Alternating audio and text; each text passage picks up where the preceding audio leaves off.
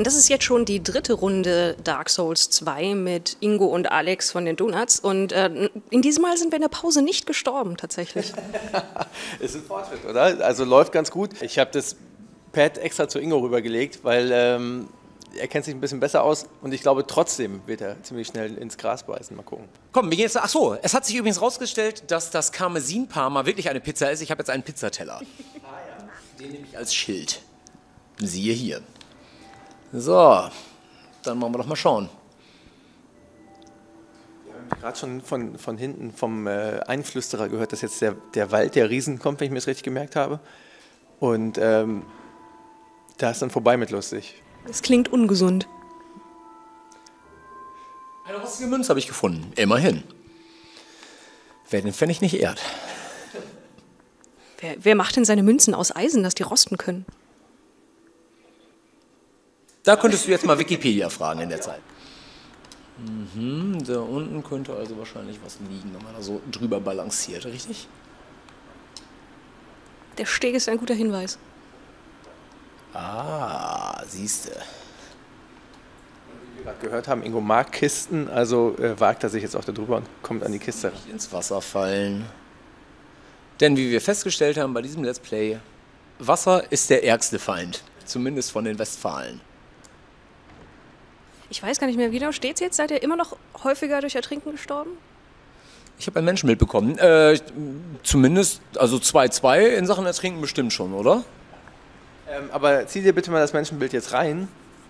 Ich möchte gerne, dass wir nicht mehr, nicht mehr grün und schimmelig sind, sondern zum Mensch werden und vor allen Dingen auch wieder volle Energie haben. Ja, kann ich machen. Ich wenn ich jetzt, also wenn ich jetzt wirklich alleine zocken würde ohne dich, würde ich es nicht benutzen, weil ich ein totaler, also ich sammle immer erstmal alles und es wird nur im allerschlimmsten Fall was benutzt, weil ich habe nichts dagegen, grün auszusehen. Es ist auch Karneval dieser Tage, da kann man das durchaus mal machen. Aber komm, ich zieh's mir rein. So, bitteschön, benutzen. Und siehe da, schon sieht man wieder aus wie Andy Lober von den Decemberpilz, der Sänger. Müsst ihr mal nachgucken, decemberpilz.com oder sowas. Sieht genauso aus. Obwohl, der Andi Lober sieht ein bisschen, sieht ein bisschen abgegriffener aus. So. Ähm, Übrigens noch, genau, da hinten liegt noch wieder was in der, in der Leiche rum. Ja, jetzt bin ich aber. Genau. Genau, weil ich würde nämlich sagen, man kommt nämlich von da hinten nämlich irgendwann und kann sich das dann holen, weil wenn man hier mal runter guckt, guckt man ziemlich tief. Das ist wirklich, also äh, wenn ihr das Spiel euch besorgt, besorgt euch am besten auch einen Mitarbeiter von äh, diesem Unternehmen, der äh, sagt euch dann, wenn ihr Quatsch machen wollt, dann winkt er von und sagt, nein, nein, geht da lang. Ist aber auch schön, dass sie da den Loot so platziert haben, dass man ins Wasser springen möchte. Genau. Wald der gefallenen Riesen, da ist es endlich. So, guck mal, und da können wir nämlich jetzt mal, dann würde ich jetzt von hier nämlich reingehen.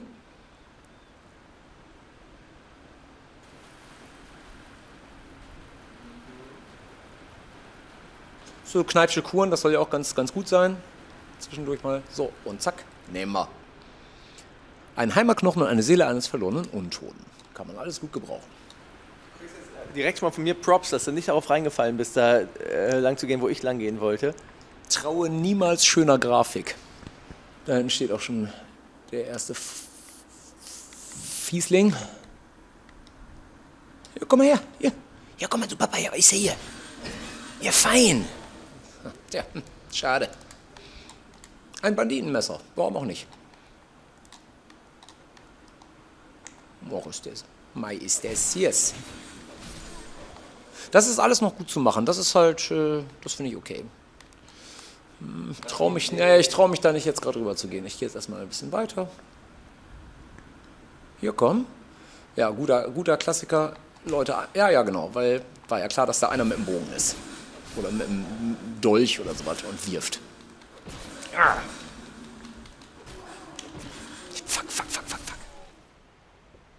Ach, das dachte ich mir doch, das habe ich nicht.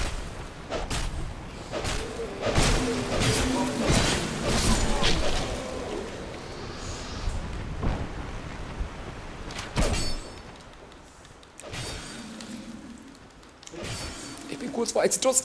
Trinken! Das war.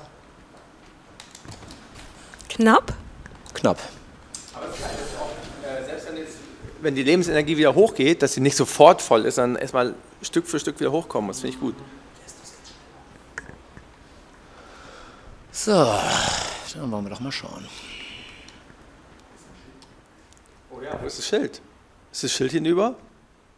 Nee, ich habe nee, nee, ich hab die äh, Pizza nur mal gerade in den Ofen geschoben, die Parmesan Karma. Dann dürfte es ja doch safe sein, einigermaßen da hinten durchzugehen zu dem Ding, oder?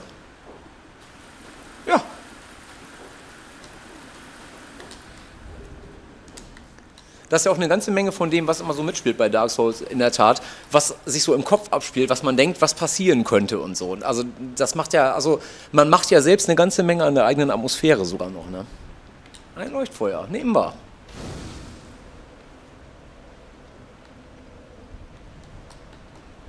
Ähm, mach dich doch mal eben noch mal schnell gesund, oder nicht, an dem, an dem Feuer? Oder hast du keinen Bock wegen wiederkommenden Gegnern?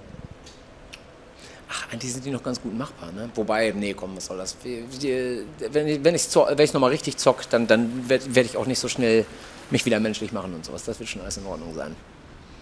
Ich mache das jetzt mal einfach auf die altmodische Art und Weise. So wie man es eigentlich nicht machen sollte, denn sowas zu verschwenden ist eigentlich nicht Dark Souls-Style. Gut.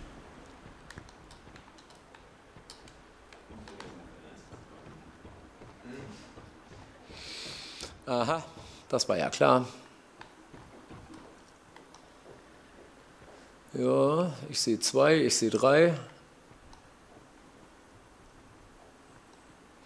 Da ist jetzt also schon gutes Timing durchaus wichtig. Und wer ist als erster dran? Ja, das werden wir gleich sehen. Das Ding ist, ich, ich renne bei sowas ja einfach immer rein und gucke, was passiert. Da hatte ich schon bei diversen Spielen ordentlich Probleme dadurch. Klar, natürlich. Ja, ja. Und ballert mit.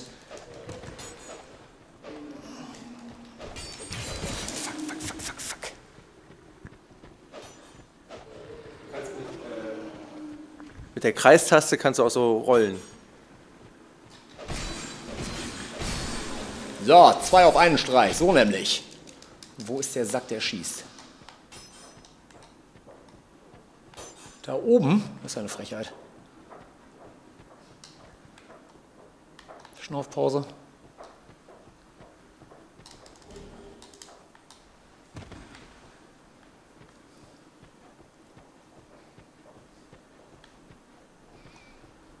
Jetzt müssen wir nur einen Weg hochfinden. Ja, da haben wir doch eine Treppe. Das sieht doch schon ganz gut aus. Aber da hinten ist noch ein bisschen was, was man nehmen könnte. Und wer ist denn überhaupt er? Wenn du dich mit ihm unterhältst, wirst du garantiert beschossen. Auch nicht so richtig viel mit unterhalten am Start, scheint mir. Nicht so Gespräche, der Kollege. Ah, Drecksack.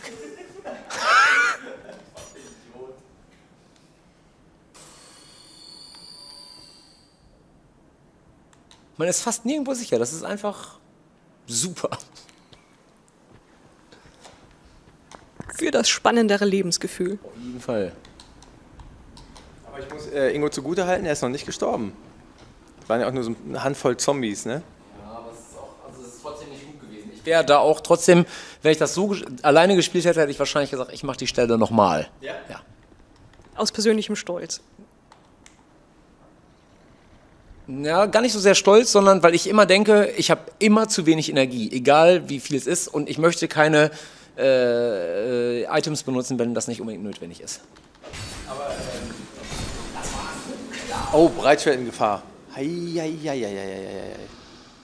Ich wollte fragen, Ingo, äh, oh, dein Schwert ist es noch in Ordnung? Nein, nicht mehr so richtig. Das Fleischfett ist nicht mehr so toll. Ich wollte eigentlich fragen, wenn du jetzt dann ansonsten Spiele immer so sehr sparsam spielst, ne? Ähm, ist es dann am Ende sinnvoll gewesen oder hast du dann total viel Inventory über am Ende? Mal so, mal so. Ich bin immer ganz stolz, wenn dann am Ende doch noch viel übrig ist, weil ich so denke, habe ich nicht gebraucht. Ähm, schlimm ist es eigentlich, ich finde es eigentlich eine, eine Designschwäche eher schon, wenn man zu wenig, zu wenig hat. Also das muss ein gutes Maß sein. Also bei, bei Demon's Souls und Dark Souls fand ich es eigentlich immer so, dass es ein gutes Maß war. Aus ähm, knackig, aber trotz allem nicht unfair, dass man am Ende viel zu wenig von allem hatte irgendwie. Aber äh, alles in Maßen.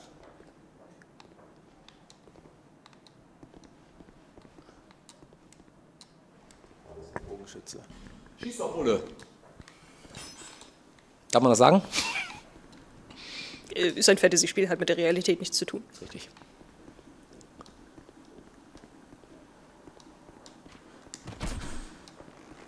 Gutes Timing. Ach ja, alles, alles Anfängerglück. Oh, oh, oh, oh, mein Breitschwert ist beschädigt. Das ist nicht so richtig geil. Ich weiß jetzt nicht, ob man das äh, selber reparieren kann oder ob man irgendwo hin muss dafür. Jetzt auch nicht so. Ah, Schauen wir doch mal nach, was wir an Sachen dabei haben. Benutzt weiter das Schwert und wenn es hinüber ist, ist es hinüber. Dann, Also, wie du siehst, von 50 auf 0 Angriffsstärke. Das ist nicht mehr so richtig gut. Aber dafür lässt es sich schneller schwingen als vorher. Ist das, naja, äh, was mit meinem Dolch? Ja, komm, dann muss es wohl der Dolch sein. Ja, ist ja schade jetzt. Was ist mit dem Heini hier los? Der ist mir irgendwie sympathisch. Das mit dem Pfeil im Auge sieht nicht gut aus. Nee, sollte man nicht im Auge behalten. Aber er atmet noch. ich wollte gerade sagen, hau doch mal drauf. Nee, ich glaube, das ist vielleicht gar nicht so eine gute Idee. Da hinten ist ja ein Nebel. Wahrscheinlich kommt danach halt irgendwie eine Art Boss oder sowas. Ich würde mal tippen, der Typ kommt mir gleich zu Hilfe. Ich fände es auf jeden Fall ziemlich, ziemlich geil.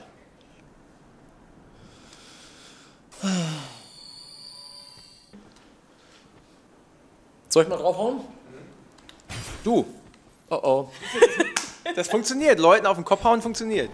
Ja, äh, aber das ist auch gar nicht so geil. Schön, dass ich sprinten kann. Tschüss. Ich gehe mal in den Nebel. Peace, Alter.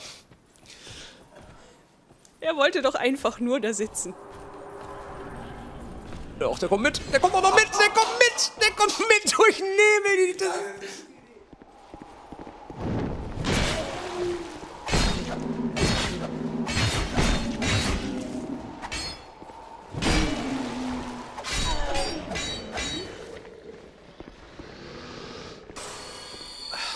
Wo ist, der, wo ist, ist der Heini jetzt dann doch hinterm Nebel geblieben? Nein! Da ist es passiert. Genau das war ja klar. Wobei, ich habe jetzt gerade festgestellt, das war jetzt in dem engen Gang, war es wieder doch ganz gut, äh, eigentlich nur so einen kleinen ähm, Pillemann durch zu haben, weil man nicht an der Wand hängen bleibt. Lass mich doch mal in Ruhe. Du bist nicht so einer, der an denen vorbei rennt einfach dann, ne? Auf gar keinen Fall. Viel Zeit gespart, viel Ärger gespart. Das, das kann auch nur so oft funktionieren. Ich schwör's dir, die sind dir alle auf den Fersen. Und wenn die Leitern klettern können, dann bist du am Arsch. Genau, sie können Leitern klettern, das meine ich. Aber ich zeige jetzt den Fire and Forget Effekt hier. Einfach rein. Sandwichen lassen von ganz vielen Leuten. Das ist genau das, was ich meine mit, du kannst nicht einfach an denen vorbeilaufen. Das geht nicht. Nein. Das war keine gute Idee. Mit dem kleinen Schwert noch dabei.